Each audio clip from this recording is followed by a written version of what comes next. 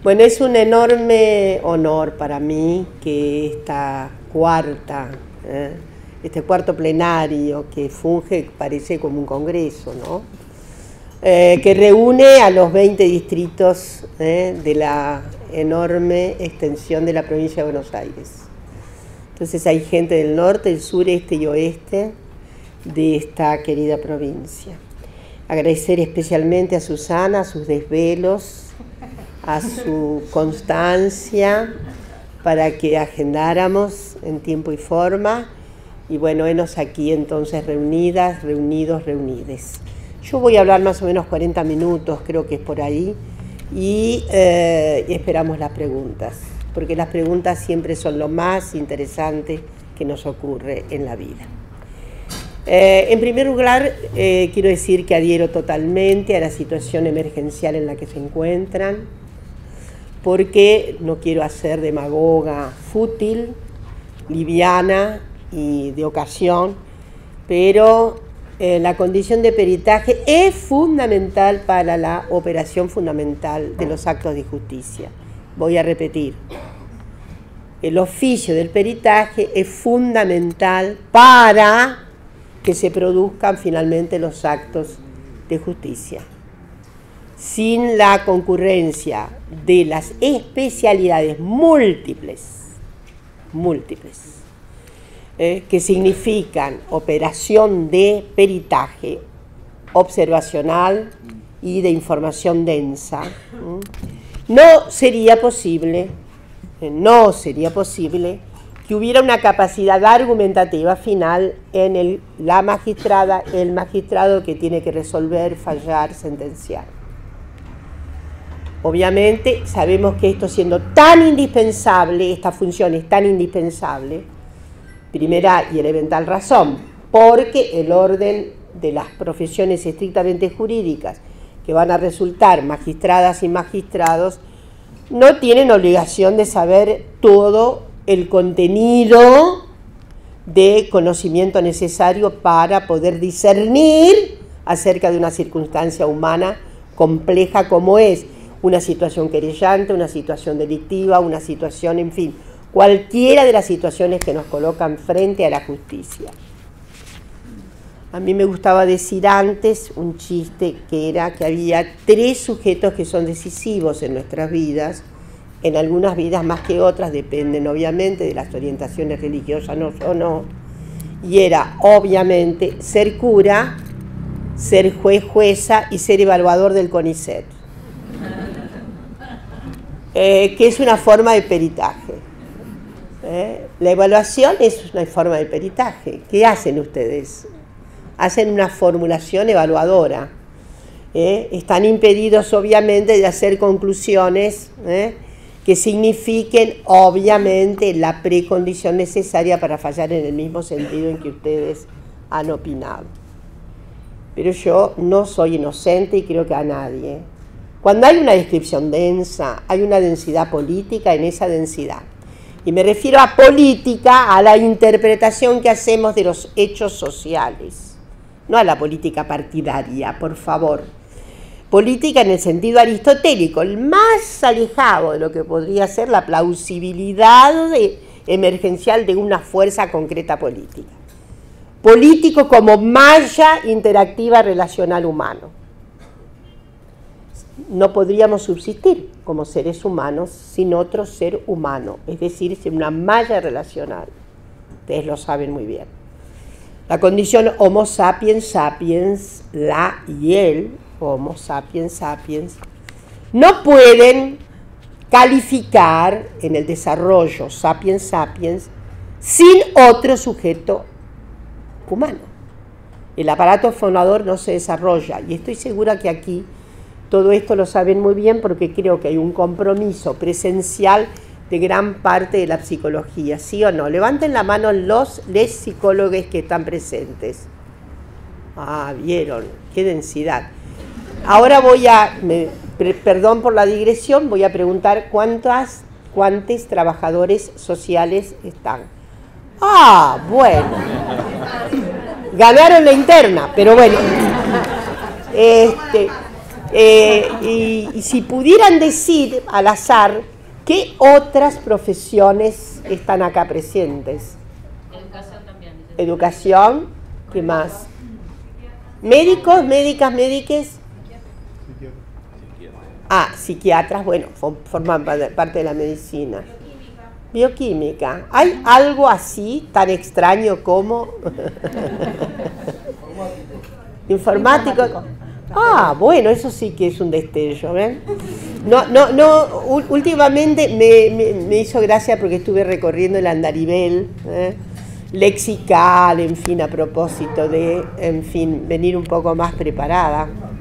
Eh, y me doy cuenta que lo informático todavía carece de un cierto reconocimiento en las presuntas categorías profesionales, porque son, a ver, es absurdo, toda categoría profesional puede ser ¿eh? oficiante de un peritaje, sobre todo por la complejidad de nuestra vida, se ha puesto demasiado complejo el mundo. Tenemos circunstancias que hace 20 años atrás no teníamos. Redes, redes. ¿ah? Tenemos algo que sí existía, ¿no? Y es la habilidad del hackeo. Pero una habilidad del hackeo que llega a unas circunstancias así que antes no ocurrían, ¿no? Entonces hay una complejidad dentro de lo complejo, cada vez mayor. La inteligencia artificial que se mete. La inteligencia artificial, exactamente. Que ahora ustedes saben que Europa está procediendo seriamente a ponerle control a todo eso. Yo creo que sí que necesitamos, pero es harina de otro, de otro costal. ¿eh? Pero sí, sí, necesitamos peritaje para ver en qué medida se está tornando una seria avería a nuestra integridad, tanto la inteligencia como ciertas formas que hay, por supuesto, de control remoto de nuestras vidas. Pero vamos a las cosas. Eh, déjenme decirles que suscribo el estado emergencial porque se comprende perfectamente que siendo tan complejas las circunstancias del presente, siendo tan complejas y ahora sí voy directo a el tópico que va a ser central en el resto de la charla, la perspectiva de género. Siendo tan complejo eso que decimos perspectiva de género, es una complejidad que derrama ¿eh? en muy diferentes dimensiones, en todas las dimensiones humanas. Abajo de cualquier vinculación que tenemos hay relaciones de género. Es la protovinculación humana. También es la protovinculación en un sentido que destella gravemente en la primera condición de posibilidad de la servidumbre. El patriarcado que se inventó hace alrededor de 7.000, 8.000 años, y a mí siempre me gusta insistir con esto, y quiero que efectivamente ustedes, que son el ariete fundamental de los actos de justicia, para que no sean injustos, pongan en sus cabezas que el patriarcado es un sistema sublimemente, a veces opaco, pero que está instalado en nuestro orden subjetivo. Hay que sacudir el orden subjetivo para darnos cuenta de la maraña transhistórica que es el patriarcado, se inventó hace 7.000 años. La condición Homo sapiens sapiens tiene alrededor de 30.000 años. La condición hominidea tiene alrededor de, lo dijo hace poco tiempo un famoso cientista que nos llamó la atención, creo que fue Nature on Science, ya no me acuerdo, 2017. Se publicó un texto impresionante que decía exactamente, le faltaba día, hora y minuto eh, hace 350 mil años que existe la forma prominidia acá, en este planeta.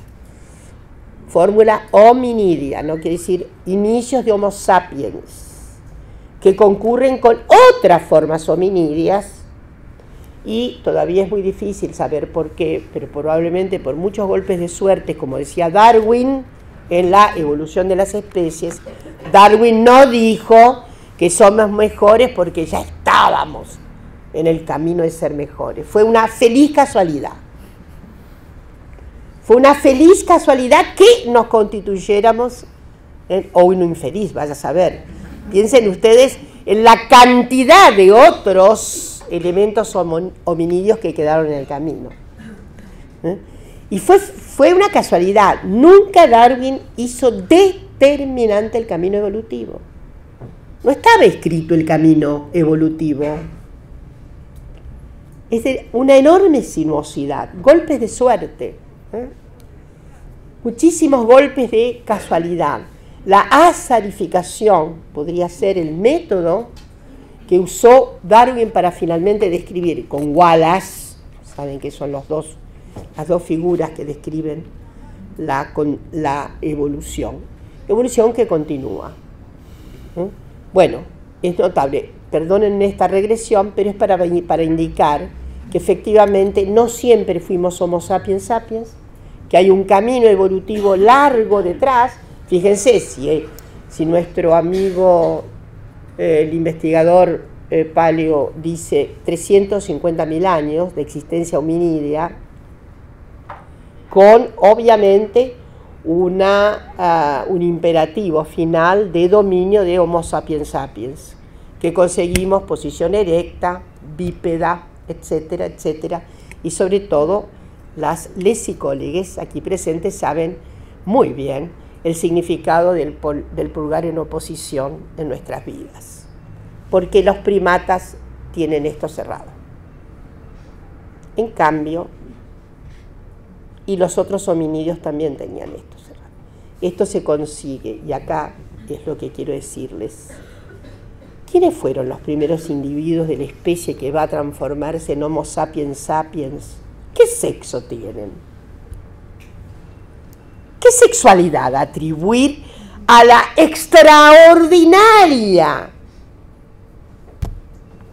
circunstancia de haber puesto en oposición el pulgar? Sería ridículo atribuirlo a los varones, ¿no es verdad? Sería ridículo atribuirlo solo a las mujeres.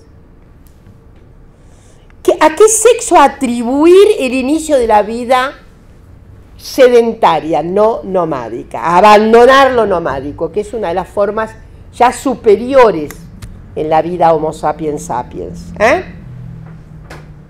¿A quién atribuir? Ustedes saben que cuando esto se da en el sistema educativo se habla del Homo sapiens el Homo sapiens. Eso ya indica una jerarquía incuestionable respecto de un segmento social con una gran capacidad innovadora que destella hasta en estos sentidos. Vamos a dejar los árboles y vamos de un lado para el otro y nos vamos a convertir en gente sedentaria. Es in tolerable la idea de que haya sido el sexo masculino el que inventó la vida sedentaria. De la misma manera que es absolutamente insoportable desde la logicidad elemental que hayan sido las mujeres. Aunque a veces una se pregunta, ¿no habrán sido ellas? Discúlpenme los varones, ¿no habrán sido ellas las que dijeron, es mucho, mucho más cómodo quedar en un lugar que andar de un lado para el otro? Bueno, todo esto, y ahí viene algo que sí les quiero decir, significa que nuestra identidad como Homo sapiens sapiens eh, ha significado un camino, obviamente, 30.000 años, 40.000 años, en donde no había el menor registro de diferencia sexo-genérica en las actividades. Y hubiera sido una torpeza y una estupidez brutal de nuestros grupos antecesores. ¿Se imaginan? ¿Se imaginan si hubiera habido un ordenamiento?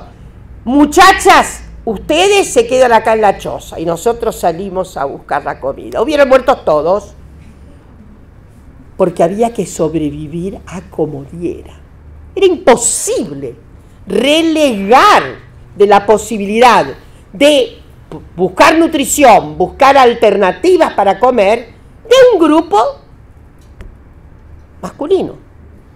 O sea que está llena hoy día, felizmente, la información historiográfica respecto de la enorme igualdad que había respecto de algo tan elemental como sobrevivir.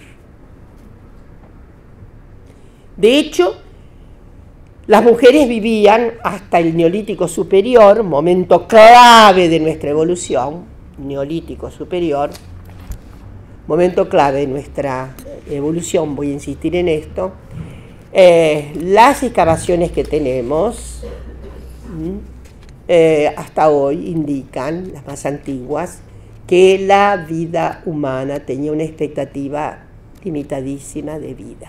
28 años las mujeres, 31 años los varones. Capacidad procreativa impactante, 20 hijos o más. Periodo intergenésico, casi ninguno, se seguía. Y se, en el periodo nomádico se iba con toda la prole.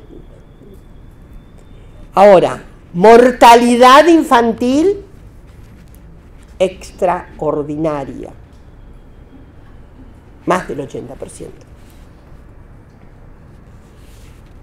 De modo que en las condiciones de sobrevivencia era imposible segmentar lo humano en yo me ocupo de esto y vos de lo otro.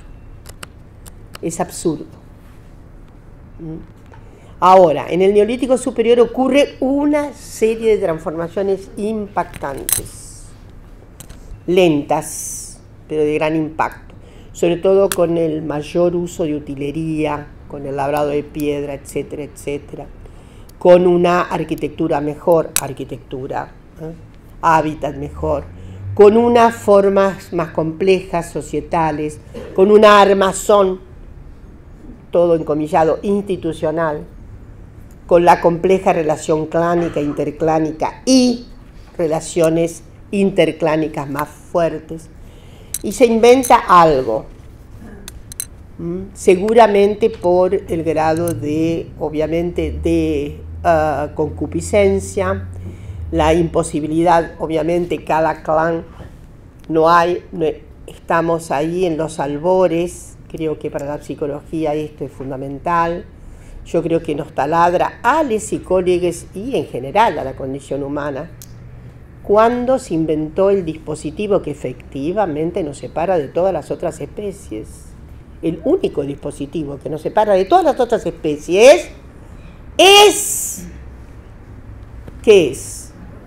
El orden simbólico. Ninguna otra especie tiene una vocecita interna que le dice hace esto, hace lo otro, que es inconsciente, como saben los psicólogos, más del 90%. Somos apenas, no sé, un 10% tenemos conciencia del mandato del orden simbólico. Está cruzado, el orden simbólico está cruzado con algo muy, muy fundamental, muy fundamental en el camino específico de la especie, la prohibición del incesto. Es un principio vertebral en la organización promedio planetaria. ¿Mm? Obviamente tiene muchísimo que ver con muchísimas cuestiones que no vamos a tratar, pero yo voy a traer la condición entonces que aparece, eh, es muy probable, yo me acuerdo una preciosa eh, interrogación que le hicieron a Levi Strauss, el famoso, ¿no? nuestro famoso antropólogo, filósofo, ah, Levi Strauss es. A Levi Strauss una vez le preguntó Didier Ribon, que le hacía un libro que es maravilloso, ¿no? sobre él, son preguntas y respuestas enorme elaboración, precioso, seguramente lo han leído, no sé si lo han leído, y él con una, yo diría, con una tasa de eh, razonabilidad y sobre todo de eh, autenticidad, de enorme autenticidad como gran maestro. Y Ribón le pregunta, eh, ¿cuándo apareció el orden simbólico? Y Leviestro dijo con una simpleza extraordinaria, qué sé yo. Está todo dicho. Creo que todavía es qué sé yo. ¿Eh? Pero es un momento de significación total ya lo sabe. Y evidentemente creo que hay una invención del orden simbólico, sin quererla, que tiene que ver con evitar, obviamente, las guerras intestinas, interclánicas, tan mezcladas de una situación consanguínea que significaba, hasta ese momento, hasta el neolítico superior, significó que la existencia, se, ve en el mapa general, lo contó Morgan, famoso Morgan, ¿eh? que tanto usó Engels para su famoso libro, ¿eh? una indicación clara sobre cómo había surgido el patriarcado según la hipótesis de Engels, ¿eh? el nacimiento de la familia, la propiedad privada y el Estado. Libro notable, que le llevó muchos años y que justamente ha sido la clave para que las feministas hoy usemos sus hipótesis del lado del revés. Entonces, yo no me quiero perder con esto, pero es probable que las organizaciones clánicas decidieran guerrear menos, extinguirse menos, sortear menos y además terminar, porque ahí comienza la terminación, del hilo conductor de la identidad humana al grupo productor de la identidad humana, la matrilinealidad, confundida con matriarcado. No lo confundan, por favor. Matrilinealidad quiere solo decir que la madre es empíricamente comprobable, ma el padre no tanto. Es una ternura particular que tengo con el patriarcado, discúlpenme. ¿Saben por qué?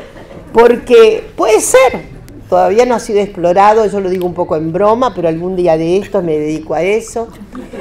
¿Por qué el patriarcado se empeñó tan férreamente en el sujetamiento de las mujeres y de las otredades y demás, etcétera, etcétera, etcétera? Yo creo que fue en alguna medida, lo voy a decir todo encomillado, por ahí esto se traduce y va a decir, miren lo que dice Dora Barrancos. Y me asustaría ser nada menos que la autora de esta hipótesis tenebrosa, que es que el patriarcado se tomó venganza por la imposibilidad del reconocimiento de la paternidad. Pero la verdad es que los caballeros saben, saben muy bien que la ceguera respecto de esto fue grande hasta hace, ¿cuánto? Poquito tiempo atrás. Gracias al ADN. Por eso los peritos de ADN son fund los peritajes de ADN son fundamentales. Son fundamentales, se tornó se tornó fundamental. Si hay una revolución dentro de las capacidades identificatorias, es la de la biología molecular. Aclaro algo por las dudas. Una de las descubridores de la doble hélice del ADN, ¿saben quién es? Es una mujer, Rosalind Franklin. Gran cristalógrafo, una figura importantísima, hija de un banquero de origen judío, banquero inglés, que no quería, pero para nada saber que su hija se iba a tornar científica. Pero le hicieron la vida imposible hasta ahí nomás. Rosalind se salió con la suya, se tornó una gran, gran especialista y es la protodescubridora, la famosa figura 41, vean por internet, de Rosalind Franklin. Sus compañeros le birlaron. ¿eh? Ella trabajó exponiéndose a la a los rayos X al punto de que contrajo cáncer y murió con 35 años, no me acuerdo. Cuando los muchachos recibieron en el 53 el premio Nobel, porque era la primera, imagínense, estamos en el 53, ¿eh? primera comunicación, las primeras comunicaciones sobre estos hallazgos extraordinarios de la biología molecular, la, doble hélice de la ADN y la posibilidad ¿eh? de hacer identidades respecto de Em, fue en 1953, lo recibieron tres muchachos y ni se acordaron de Rosalind Franklin. Así es la vida. Qué raro, ¿no? Es una, es rarísimo, ¿no? Tenés mucha razón, es muy raro. Bueno, en fin, me fui lejos, pero ahora estamos muy cerca. Quiero decir que esa incapacidad, ahora para decir un libro que espero poder leerlo de una colega norteamericana que está haciendo unos trabajos preciosos sobre justamente la nebulosa de la paternidad. Sí, había análisis de sangre que daban relativamente, pero era bolufas, eso no era científico. Podía ser o no. Y ha aparecido su libro, así que eh, tiene, muchos, tiene muchos casos de Argentina muy interesantes. Y voy a, voy a recordar uno, ya que estamos. Pues yo tengo siempre un plan A y después me voy al plan K. Entonces, este, pero creo que es mucho más divertido el otro plan que el que tengo, que tengo previsto. Miren lo que ocurría, eh, contado por, por esta autora norteamericana hacia el año 20 hubo un pleito grande respecto de la identificación de paternidad de un señor importante comerciante de Buenos Aires, importante digo, no era Bunge por, de ninguna manera, era un señor pequeño burgués con muchos recursos, que no se había casado legalmente con una persona con la que tuvo tres hijos. Cuando muere el Señor, la familia, como suele ocurrir, saben que las sagradas familias, este, las sagradas familias, ustedes, porque después la última parte lo voy a educar, a las sagradas familias del Código Civil, eh, con la que ustedes se ven a menudo. Eh, entonces, em, eh, ¿qué ocurrió? Bueno, el juez con buen tino hizo, hizo que, obviamente, testimonio 1, testimonio 2, testimonian tres niños, una niña y dos niños. Y lo llamó de perito a Lehmann Nische, perito de gabarito. Lehmann Nische fue una de las figuras más destacadas de la protociencia argentina, de la primera parte científica argentina. De origen austríaco, se instaló no sé exactamente, tuvo, estuvo vinculado a La Plata, su mujer, eh, fue extraordinaria cooperativa, tampoco se acuerda nadie de ella, eh, pero él eh, era un recolector, obviamente, palio, de huesos, tenía una gran colección. Y como era un estudioso en este campo, eh, el juez le pide a Lehmann Nische, es apellido compuesto, Lehmann Nische, el peritaje acerca de la paternidad. Vale la pena, es la antítesis del trabajo, digamos, yo creo que de la percepción de ustedes. Porque Lemanish, incitado desde luego por un principio ideológico, hace eh, todo el análisis fisio, eh, de los niños y los describe. Eh, si el Señor era de tipo ario, blanco. Los niños tenían que tener una heredad en ese sentido. Pero le encuentra que eran más trigueños, que tal vez uno era de piel mucho más clara que la niña, porque la madre de los niños era trigueña, no era aria pura. Y, y ahí se manda con un enorme examen de páginas y páginas desestimando la paternidad supuesta del rico señor comerciante, dándole la razón a la familia ¿eh? que no quería que los herederos de esa fortuna fueran los niños. Pero el juez, notablemente, ven que hay jueces que hacen a veces las cosas bien. Eh, se determinó de una manera absolutamente, yo diría, razonable, plausible, proporcionada, atendió la enorme cantidad de eh, testimonios. El vecino que había visto el nacimiento, la vecina que había visto los embarazos sucesivos de la señora, el hecho de que tuviera una larga convivencia, etcétera, etcétera, una que había asistido al parto y que el Señor estaba presente, más o menos así debe haber sido, por lo que nos comenta. De modo que contra el peritaje de Lehmann Nische, decidió que el señor comerciante era el padre de esas niñeces. colorín colorado, esta parte. Pero evidentemente ahí quiero engarzar esto con el supuesto fundamental. Primero, no somos tablas rasas, ningún perito, perita es una tabla rasa, de ninguna manera. Primero tiene una formación humana determinada, una inscripción, tiene un acierto ideológico, político, ¿eh? político, insisto, no partidario, político de cosmovisión política. Puede ser partidario también, como no, pero quiero decir lo político, no la política. Luego, tenemos una formación. La formación que tenemos en grado está tan distante de la perspectiva de género, tan completamente que la perspectiva de género, ahora hay cambios, pero en general se da en las profesiones jurídicas muchísimo más todavía, después que se terminó grado, aparece como especialidad en las especialidades, en los posgrados, en las maestrías, en los doctorados. Ah, sí, hay una gran cantidad de seminarios que tienen que ver con género al derecho al revés, mujeres, varones, masculinidades, la vastedad de tópicos que se ha encendido hoy en nuestras universidades, en los grupos académicos, en la vida social. Entonces, pero no en la formación de grado. Por lo tanto, cuando llegamos a transformarnos en peritas y en peritos, ya tenemos una tremenda. Hay que hacer todo un aprendizaje, por supuesto. ¿eh?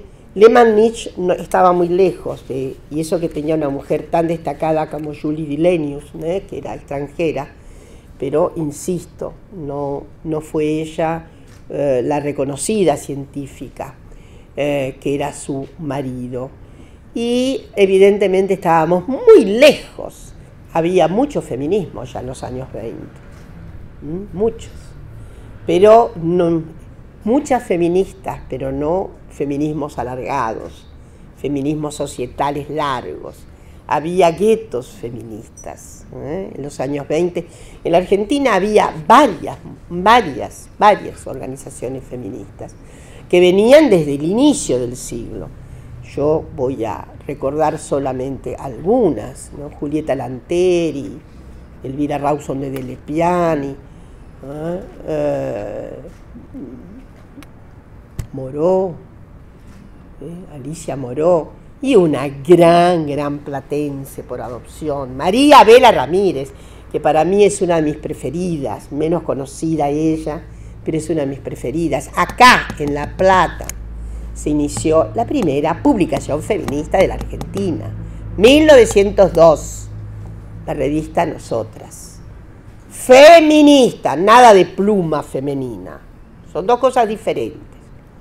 Una publicación puede tener pluma femenina, pero no ser feminista. Esa fue la primera publicación argentina feminista, nacida acá en La Plata.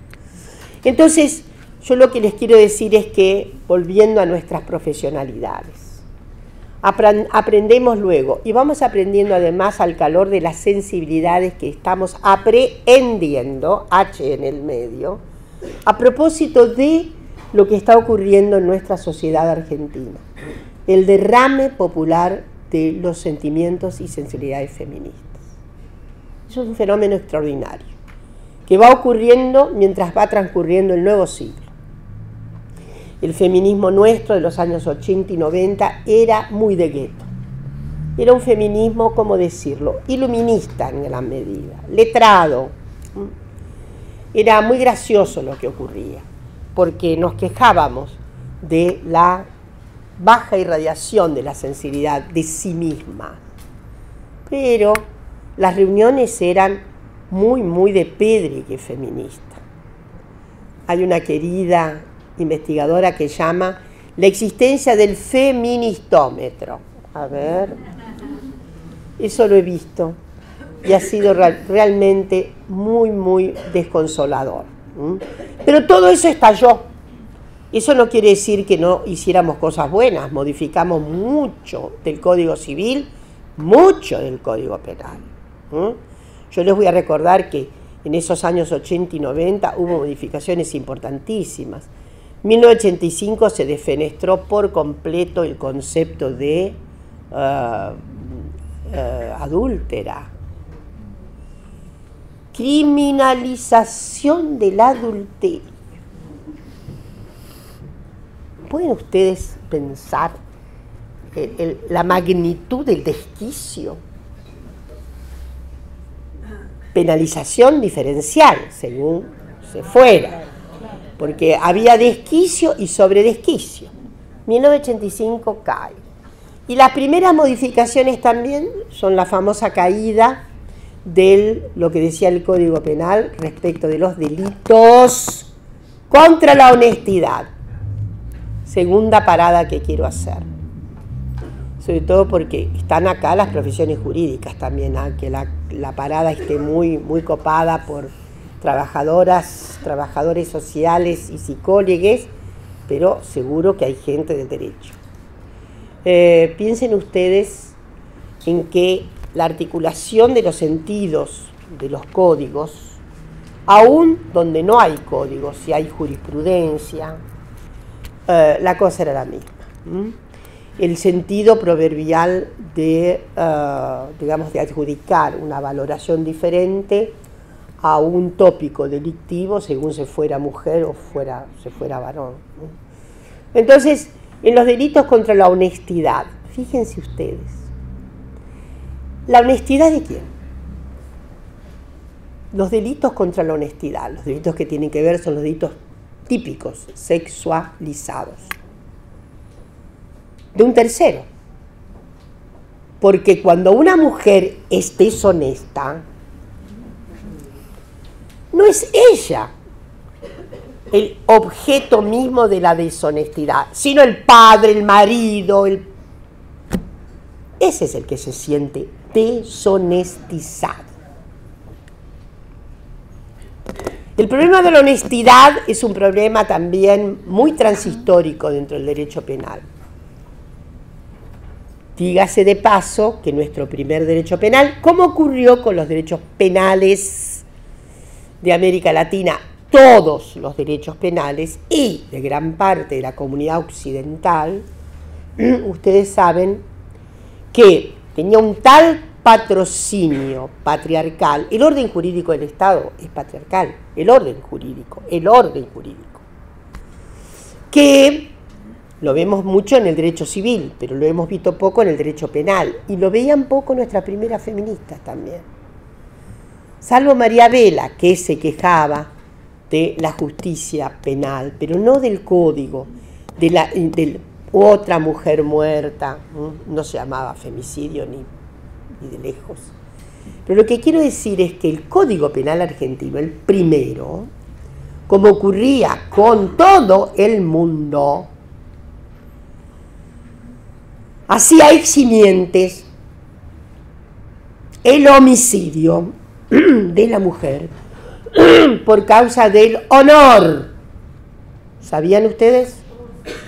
Ella era adúltera. Bueno, que la matara. Era eximente. Y yo tengo un conjunto de viejos dictámenes judiciales acerca de sana sana colita de rana. Es impresionante. Eso perdura y lo mismo el padre que mataba a la hija por razones de honor-dolor. Lo había vituperado, le había faltado el honor. Se había acostado o la habían violado. Eso. Y la mataba. Era eximente. ¿Puede usted creer eso? Por eso cuando nos preguntan sobre la violencia, digo, es incontable. No se puede contar. No, no podemos decir, sube la violencia porque atrás tenemos toneladas de violencias que no las hemos computado como tal y que estaban autorizadas por el Estado. Eh, todo cambia con el cambio del Código Penal 21-22. Ahí sí el Código Penal cambia y se admite, se va esa figura siniestra y viene el Instituto de la Emoción Violenta. Es un paso, pero resulta que la emoción violenta fue usada a trocho y mochi, ya saben ustedes, para justificar tantos femicidios.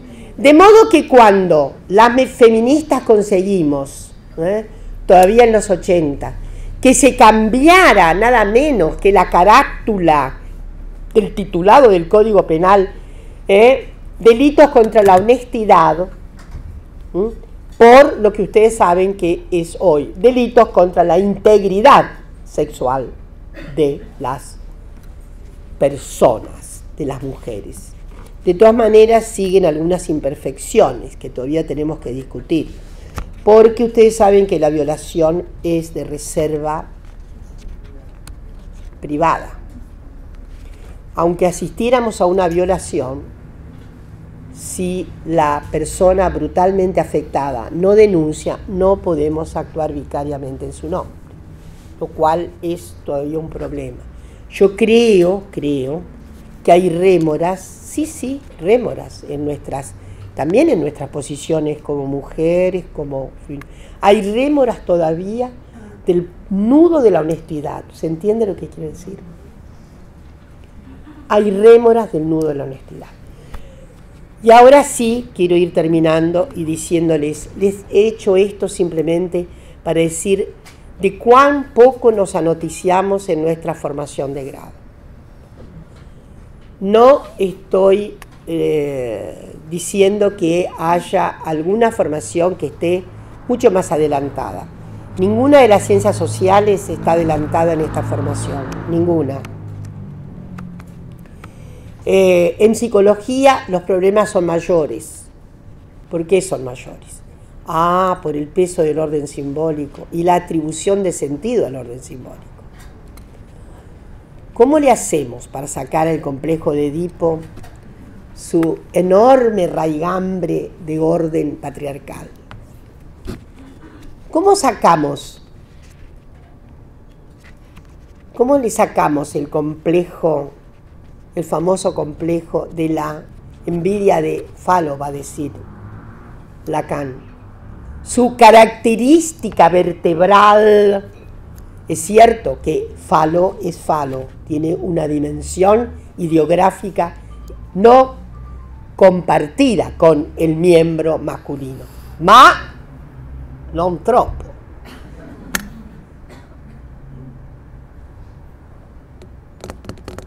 No se sustituye por la envidia de vagina, ¿no? Entonces, yo digo que ahí hay todo un desafío que hace muchos años han emprendido las psicólogas.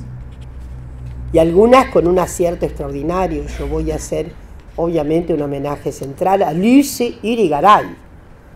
Speculum de una mujer. Me imagino, recomiendo particularmente a las psicólogas que lean Speculum de una mujer. Porque fue el gran disgusto, además, de Luce Irigaray con su confesor, Lacan. Entonces eh, fue una tremenda arremetida eh, que significó que nunca más pudieran eh, tener un buen vínculo. Pero hay figuras muy notables, están Dio Blecher, Isabel, en fin, las, las argentinas que se fueron a España, que han hecho una deconstrucción psicológica muy interesante. ¿Todo esto para qué?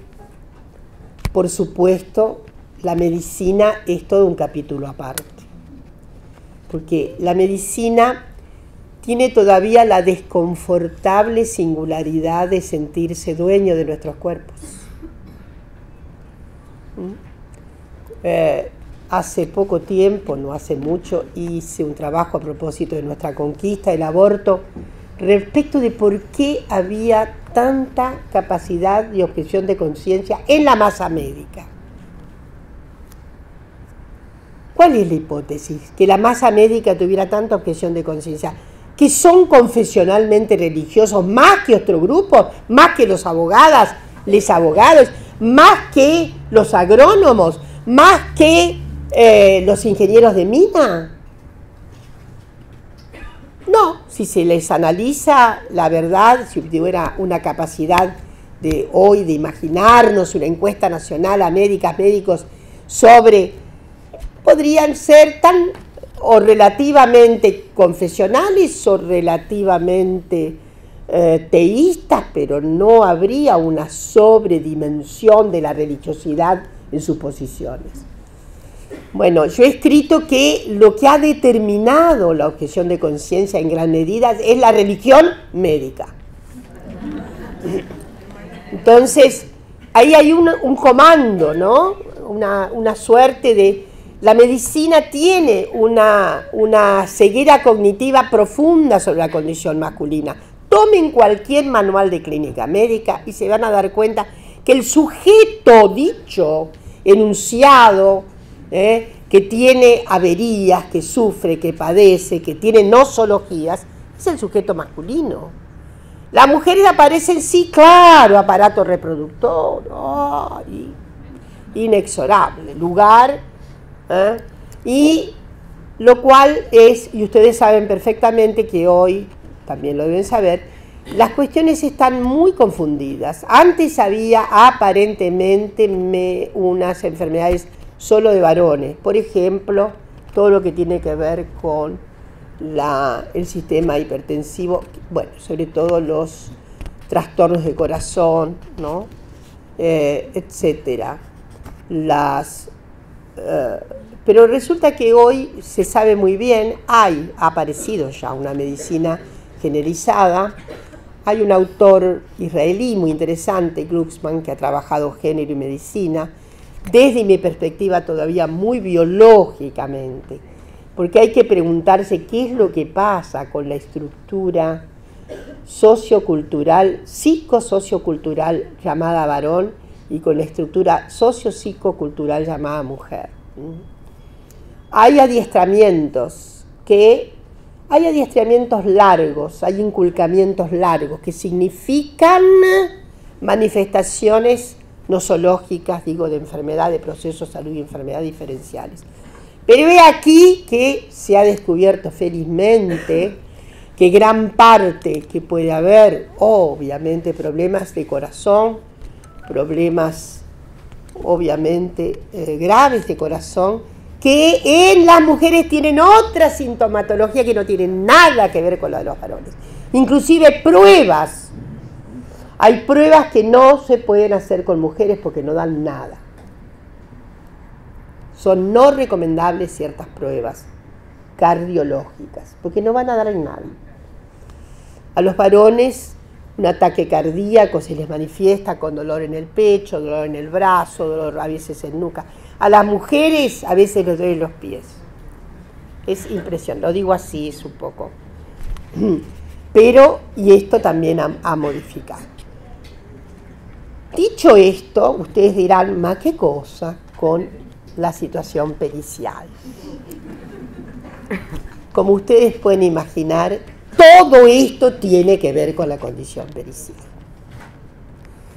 Si no agudizan las, eh, no agudizan las sensibilidades, yo creo muchísimo en que la, el tamaño de nuestra transformación tiene mucho que ver con lo sensible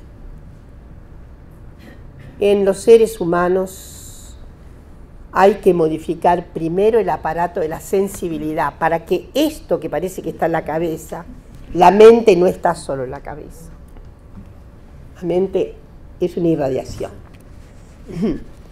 Se ponga a tono con lo sensible, porque una piensa en cómo modificó sus ideas cómo modificó su punto de vista, cómo modificó ah, el modo en que veía las cosas. Yo me torné feminista grande. Debo haber sido siempre una, haber constituido una prefiguración feminista, pero no, no era, no era, no lo era. Tenía enormes sensibilidades de justicias básicas, pero me parecía que había una justicia anterior que había que hacer, que era la justicia social, y luego podría venir por añadidura. Es que no viene por añadidura, porque la injusticia básica es una injusticia de género. Las mujeres pobres son más pobres que los varones pobres. porque están a merced inclusive de las circunstancias de violencia que se ejercen contra ellas. No me canso de decir ahora que el protagonismo central que ha tenido la desigualdad humana comienza con relaciones de género. Y sobre esa vienen a tono todas las otras desigualdades. Desde luego, entre una mujer pobre y gente como nosotras en general, hay diferencias muy grandes. Hay un hilo que sin embargo nos reúne. Tenemos menos oportunidades todas, pero ellas tienen todavía menos oportunidades. Esto es elemental. Yo creo que no hay ningún feminismo progresivo, que hay muchas fórmulas de feminismos hoy día teoréticas, no ignora la interseccionalidad fundamental de clase y etnia. Si sos pobre, sos una mujer pobre. Si sos negra o marrón, si sos de pueblo originario, oh, tenés un combustible tremendo para la discriminación olímpica de la justicia. Porque vamos a hablar de la justicia. La justicia está toda sazonada por valores patriarcales. Lo disruptivo es cuando encontramos a una magistrada o un magistrado que finalmente, finalmente absorbe lo que es un mandato del Estado. Con la ley Micaela tenemos un mandato del Estado. El Estado decidió con la ley Micaela erradicar al patriarcado. A ver si lo entendemos. Eso es lo que dice la ley Micaela. Erradicar las formas patriarcales. Y las formas patriarcales hay que erradicarlas no solo de los varones, de las mujeres. Porque el tipo de colonización que han conseguido ¿eh? los valores patriarcales es de tal orden que hay mucha mujer que no se da cuenta que es patriarcal, que comulga con los valores patriarcales que piensa que eso viene desde siempre. Viene de dos. Hay, algo que hay que desarticular vivamente y que ustedes pueden hacerlo. La condición patriarcal no viene ni de Dios ni de la naturaleza. La naturaleza no tiene nada que ver con el sistema patriarcal. La debilidad llamada la debilidad congénita la mujer es debilidad de dónde? Invitaríamos solamente una jornada de trabajo a un querido compañero para levantar dos chicos, uno de 10 kilos, otro de 12, y vérselas con todo el mare magnum de la reproducción cotidiana. Ustedes saben que si hubiera una huelga indefinida, por tiempo indeterminado, de las llamadas amas de casa, el mundo se para. El mundo de las amas de casas es un mundo de laboreo intenso, ¿eh?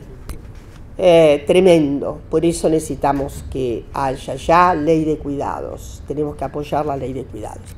Para ir terminando, ustedes tienen un compromiso impresionante, aunque no sea vinculante lo que van a contar. Miren, no es necesario siquiera de pasarse de la raya y dar idea tan frontal del partido, del punto de vista que están tomando. Basta una buena descripción densa. Describan densamente lo que ocurre. No es necesario ni calificar. Describir el escenario densamente o ya significa una, yo diría, contribución excepcional al sistema de justicia. Insisto, todo lo que ustedes producen tiene la desventaja de que no es vinculante. Pero se dijo, se firmó y está expuesto. Sepan que eso tiene un valor eh, sociopolítico impactante y que necesitamos estas formas de peritajes. A ver, ¿Cuál es el compromiso? Es el compromiso con la justicia, simplemente.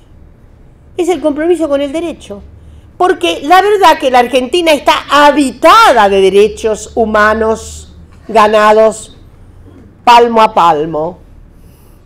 Todos los derechos de las mujeres son derechos humanos, todos los derechos de las personas disidentes son derechos humanos. A ver qué son. Son derechos marcianos. Son derechos que han hecho aumentar la fragua de los derechos humanos en nuestro país de manera gigante, como lo han reconocido en general en este momento en el sistema interamericano y por eso es que es tan doloroso que haya detrimento de los derechos humanos con fórmulas tan violentas como las que estamos asistiendo. Necesitamos que las peritas, los peritos, les perites simplemente estén mucho mejor informados. Necesitamos mucha capacitación en estos temas, mucha capacitación más específica. Hay algo que es muy doloroso que ocurre en nuestro país y es cómo todavía, todavía existe un predictivo ideológico. Por supuesto, estoy al tanto de que la provincia de Buenos Aires tiene familias aparte, no está con el fuero tal con el fuero tal. Desde luego, como como no soy del ramo jurídico, me permito decir muchas bizarrías. Creo que los fueros se establecieron con el orden jurídico burgués en el siglo XIX y están muy viejos. Muy viejos la separación de fueros. No, ahí está. No, no, el patriarcado está bien. Entonces, eh, digo, es antiquísimo, es antiquísimo. Fuero penal, fuero civil. Claro, hicieron bien, familia aparte. Ahora, familia aparte, ¿mejora o no mejora? Porque puede haber una retraducción ideológica de la hipervaloración de la familia unida. Primero son las familias. No hay una familia, felizmente tenemos un damero extraordinario. Siempre fue así. Solo que ahora hay una eclosión inexorable, evidente y sobre todo al mismo tiempo acompañada por el propio orden jurídico, dada la situación argentina que tiene la identidad de género y, eh, y que en ese punto marca un nivel extraordinario de desorganización de las viejas mentalidades jurídicas que todavía no se acostumbran.